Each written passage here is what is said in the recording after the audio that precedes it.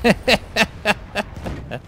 guys, this is MattiAce, and I'm coming at you here with another video showing you the result of the absolute insanity of buffing anti-air, which happened in the spring update. Now normally when somebody tries to make a point with a YouTube video, the video only contains a few examples, making it somewhere around a minute or two long. This one however, just like with my normal content, is going to be quite a bit longer. So yeah, sit back, relax and enjoy the madness.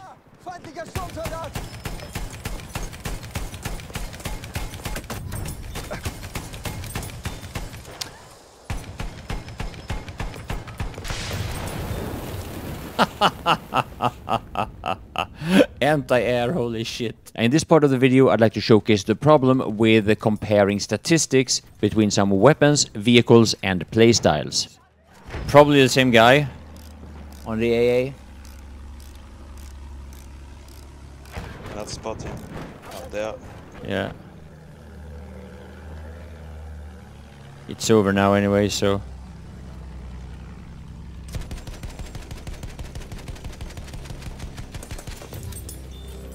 Yeah, same same guy. It's the same guy. Sim. Yeah.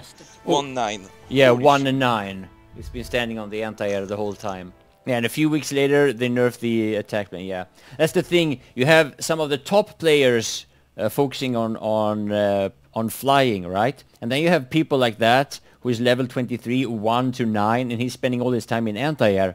And then they use that information to say, yeah, but you know, hmm, looking at this and that, and he misses that, he does so much damage. Now we have to we have to buff anti-air. Yeah, that's logic. So what I wanted to point out with that statement was that there are some things or some differences between players that makes a big difference in the overall statistics when it comes to weapons, vehicles and playstyles that many times seems to be neglected in these discussions. People like myself that dedicate a lot of time into becoming a good pilot in games we already have the mindset that once we start a new game, it's going to take a lot of time and dedication before we actually get good at what we want to do. This way of thinking is natural to us because we know that that's just the way things works. Now the very same thing can of course be said about a lot of players and a lot of playstyles in first-person shooter games. But for whatever reason, countering pilots is always supposed to be very very easy. And let's be honest, using anti-air requires little to no skill, at least on PC. Now apparently this is harder to do on console for a couple of different reasons as far as I've heard. Now partly it's because you can't turn as fast with the controller as you can do with the mouse, now that makes perfect sense. Another thing is that the aim assist that you have on console many times forces your aim directly on target, which obviously prevents you from leading something that is absolutely necessary to do in many situations or actually in most situations with anti-air. On the other hand, I've also heard a lot of console players absolutely just laughing at this saying anti-air is no problem to use on console at all. Ah, bail, bail, bail. Oh, Fuck, I, I couldn't uh, pull up there. Now, I've said several times that uh, console and PC should not have the same balance. That is a statement that I stand by, and everything I've seen comparing PC with console only confirms that. Oh shit! Oh, bail, yeah. Yeah, you can't control the plane. It's so fucking stupid. I missed it oh completely. Cheers, Nathan Rogue. 1500 cheers. Did we get some did we get some love for that, guys? I I missed did. it. Oh, that's I good. Now, besides the differences between platforms, there's another thing that is really important to understand when it comes to these discussions, and that is that we can experience this very differently depending on what game mode we play. I play Conquest exclusively, and if you compare Conquest with the Operations, for example, in the Operations game mode, it is a lot easier to predict where from you're taking damage if you're taking damage from anti-air, meaning that it will be a lot easier to dodge it. In Conquest, many times by the time that you realize from where you're taking damage from anti-air, it is already too late. So now many times when I've discussed this on Reddit, which seems to be dominated by console players, a lot of people say that it's completely pointless to shoot planes with small arms fire. You only do like 30 damage to it, it repairs and comes back at full health anyway. Now from everything I've seen from YouTube videos and uh, streams on Twitch, that statement makes perfect sense on console. But on PC, people have for a long time realized the value of shooting planes with their infantry weapons. Now again, this might be very different in operations, I honestly don't know. A big part in a Battlefield game is teamwork, but that doesn't mean that you have to be in TeamSpeak or something similar. with four other guys in a squad. Sometimes it's as simple as just watching what your teammates are shooting at and shooting at the same target. The term used is focus fire. Here you will see me being attacked by two anti-airs simultaneously. Right there. Holy shit, there is so many. On the... Wait. Yeah, yeah, you I'm can. stuck. I'm Ah. stuck again. Anti-air oh, on G?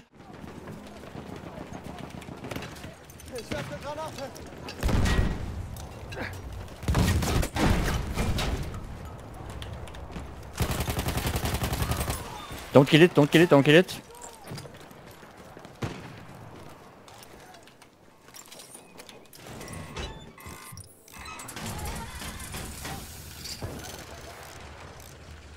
Nice still.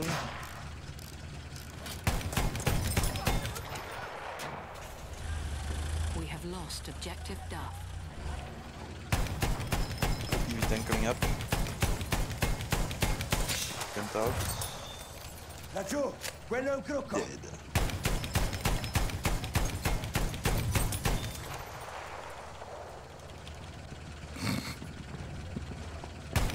Attenzione, attenzione, soldato nemico.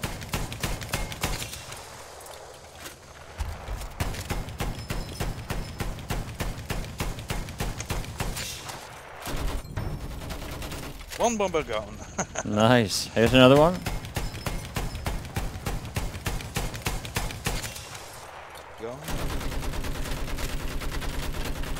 Ah! What do you guys think about my new artillery truck, huh? Beautiful, huh? Look at it. Green, with a cross on, and a cannon on top, And a Danish flag. and a Danish flag. Yeah. Flag from D. You like it?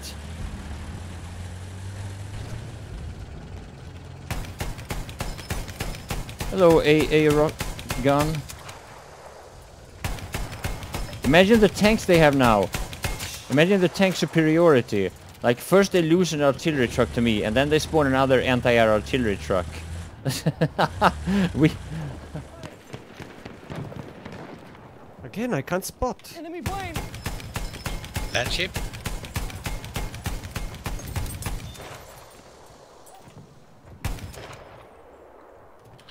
One hit on the land ship. Now there are some changes coming to anti-air. At the moment that I'm making this video, it's actually being tested on CTE. Now when it comes live and how it's going to affect the game, I don't really know. But I guess we can always hope that DICE has come to their senses. Anyway, I hope you will enjoy the rest of the video. My name is Mattias, and I want to thank you all for watching.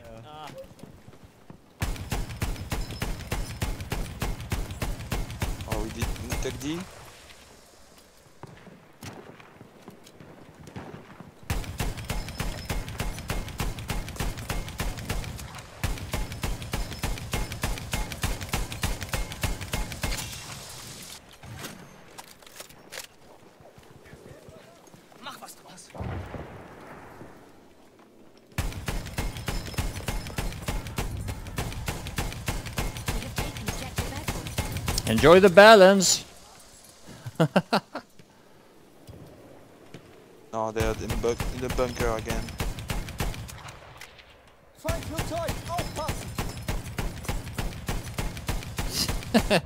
Enjoy the balance!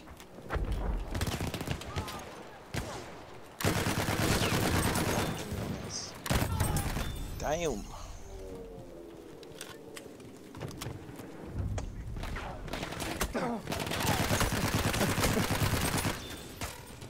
We have taken objective It came up. da oben. We have taken objective Butter. Enjoy the balance! Ah, shit. Oh, somebody got coming. killed. Yeah.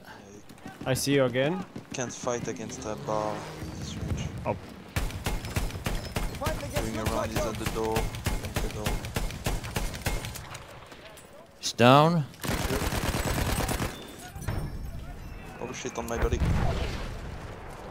Plane incoming, plane incoming. Oh, they crushed me. The a little house. One guy nice. inside. Nice. Yeah. Uh, in the bar, in the bar, in yeah, the bar. Yeah, it must be outside the, the bar. Yeah. Get another uh, plane.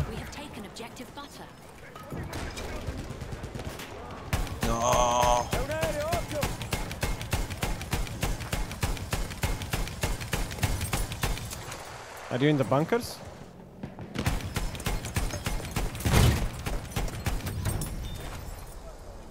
One of them down.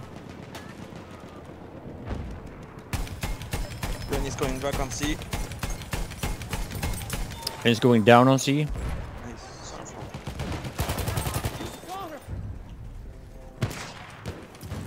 No, they're up top. Yeah.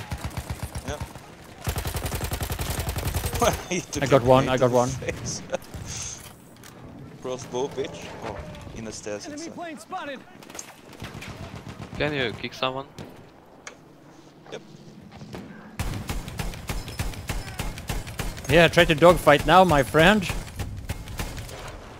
you go. He went down.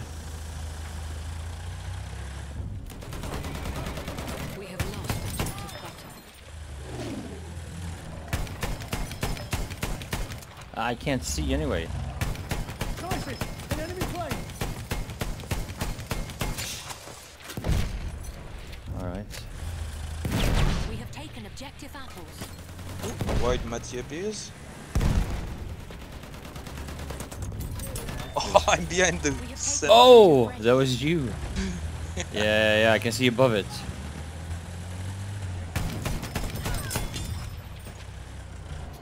This thing is really good against infantry. D tank on D.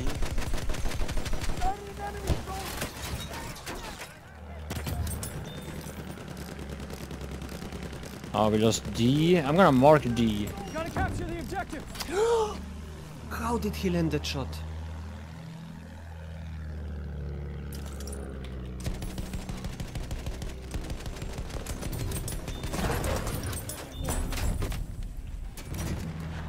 Oh, I'm there. I- Yeah, and I'm disabled. As fuck. Holy shit.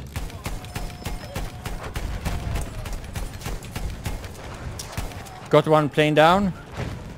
Nice. Oh, holy shit. Oh my god, that's a lot of people. coming. Yeah, yeah, yeah.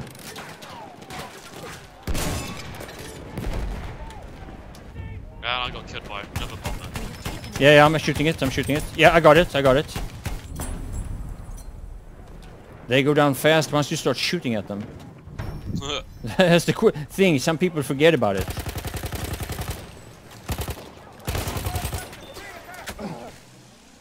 No, no, they're still stationary on port. If it's two of them. Yeah, two of them. Oh, Anti-air. On G. Jumping. Yeah. I got greedy.